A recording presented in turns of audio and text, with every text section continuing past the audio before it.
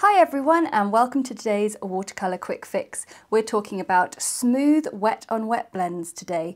So I am going to begin by wetting my paper to do a, a wet blend, a wet paper blend. So that means when your paper has already been soaked like this and you put two colours together and try and get them to do a nice sort of even blend, a bit like a sunset, something like that. So the first thing is I have wet the page in a nice sort of even, smooth way using a nice large brush that means you can get it done fairly quickly and also a brush that has not sort of got so soaking wet that we've sort of puddled the water. Now I'm going to begin with a fairly large brush now, uh, size 8 pointed round and I've got some cobalt blue my brush is already wet itself, but it's not sopping wet, and the colour is fairly nice and strong. Now what I want to do is to draw this colour down and blend it smoothly and seamlessly into another colour. So I have just been gradually dragging it down in as few brush strokes as possible. And you can see that is already creating a really nice, even graded wash.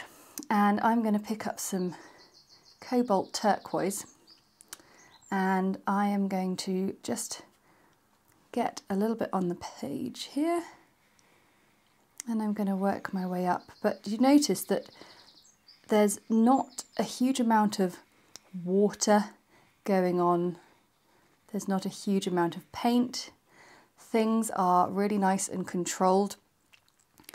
And I am just very gently, with as few brush strokes as possible, and I'm pulling off any excess paint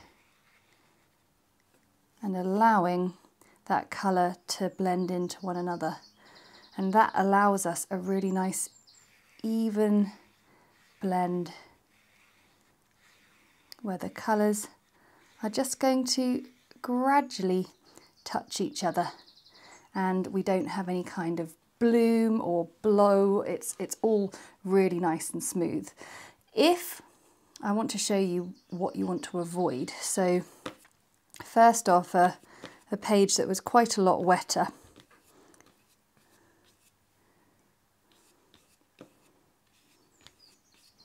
And then putting too much colour in.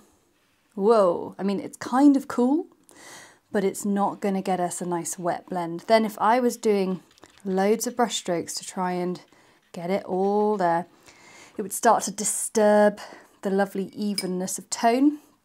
And then if I came in with a really, really punchy and wet bit of cobalt turquoise, then again, that's kind of fun, but it's not giving us the lovely smooth even blend we want because there's too much water so that you can see the the colour is all running all over the place.